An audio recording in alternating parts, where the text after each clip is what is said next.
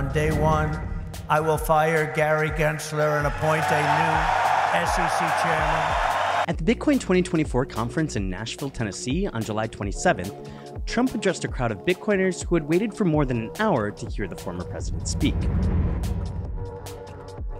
The Republican candidate laid out a plan for crypto policies should he win in November, which included removing U.S. Securities and Exchange Commission Chair Gary Gensler on day one and appointing a Bitcoin Crypto Presidential Advisory Council. Here are the major statements made by Trump during his speech. Trump spoke about Bitcoin being the ninth most valuable asset in the world and how it could overtake the market cap of gold.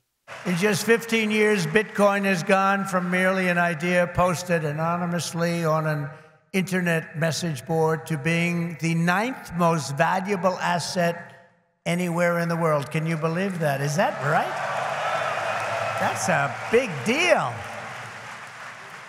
Think of that. It's already bigger than ExxonMobil. Soon it will be surpassing the entire market cap of silver. It's not bad. How about gold? How about gold? Let's go, gold. And one day it probably will overtake gold, but based on the way it's going now, it could very well be a possibility. There's never been anything like it. And I don't think you've ever seen anything like it.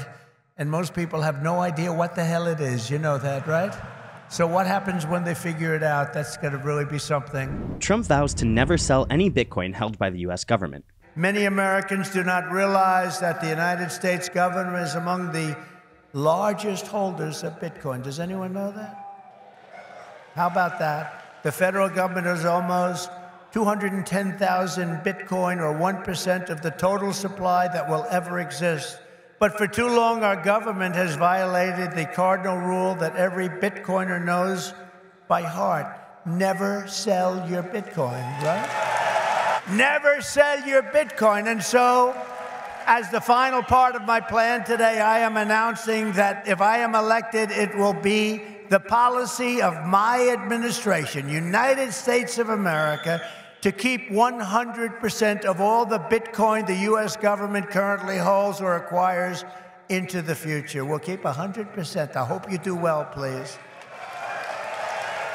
This will serve in effect as the core of the strategic national Bitcoin stockpile. Trump plans to shut down Operation Chokepoint 2.0 and presented his way forward for crypto regulations in the U.S. Upon taking office, I will immediately appoint a Bitcoin and Crypto Presidential Advisory Council. As president, I will immediately shut down Operation Choke Point 2.0. They want to choke you. They want to choke you out of business. We're not going to let that happen. And no longer will your government sit by and watch as Bitcoin jobs and businesses flee to other countries because America's laws are too unclear and too tough and too angry and too stiff. We will keep each and every Bitcoin job in the United States of America. That's what we're going to be doing. He also pledged to commute the sentence of Ross Ulbricht. Today, I repeat my pledge to commute the sentence of Ross Ulbricht to a sentence of time served. It's enough. It's enough. Trump claimed he will provide cheap electricity to Bitcoin miners. I have set the ambitious goal that by the end of my term, the United States will be the number one lowest cost of energy and electricity of any nation on earth. We can make it so inexpensively. And with low energy costs, America will become the world's undisputed Bitcoin mining powerhouse. You'll be a Bitcoin mining powerhouse. You will not have to move your family to China. You will not be moving to China. Trump reminded everyone what Bitcoin really stands for, much to the excitement of the crowd. The reason could not be more clear because Bitcoin stands for freedom, sovereignty, and independence from government, coercion, and control.